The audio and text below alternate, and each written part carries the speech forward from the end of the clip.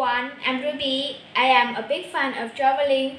Today, I'd like to tell you about a foreign city I want to visit in the future. It is Seoul. This is a special city and Seoul is the largest metropolitan capital of Korea. It was founded in 1948. Many people want to go there and so do I. Uh, let me take you to discover wonderful things in Seoul. When I come to Seoul, I will try on hanbok, um, enjoy delicious food, and uh, explore some famous tourist attractions.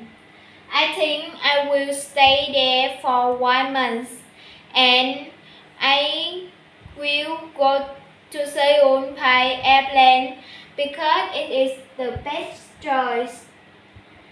Uh, I will uh, explore famous um, some famous tourist attractions here like Seoul Pyeongchang Palace where Wanmun Square, Bukchon Hanok, uh, ancient village.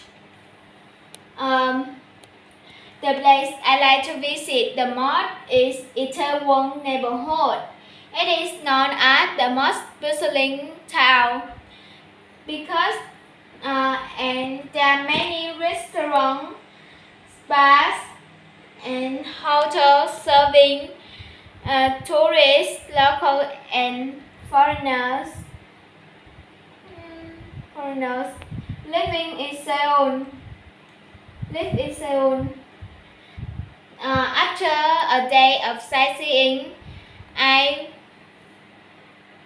I will go I will go to eat specialties um, here such as bibimbap, kimchi, bulgogi, and especially its bingsu.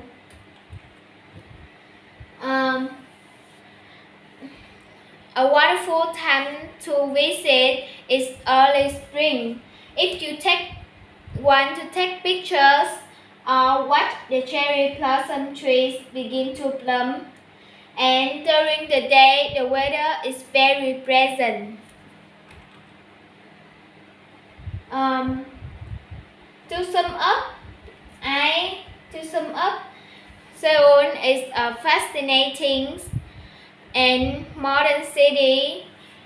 I can broaden my knowledge about its culture and history, and locals here are very friendly and beautiful. I really love Seoul.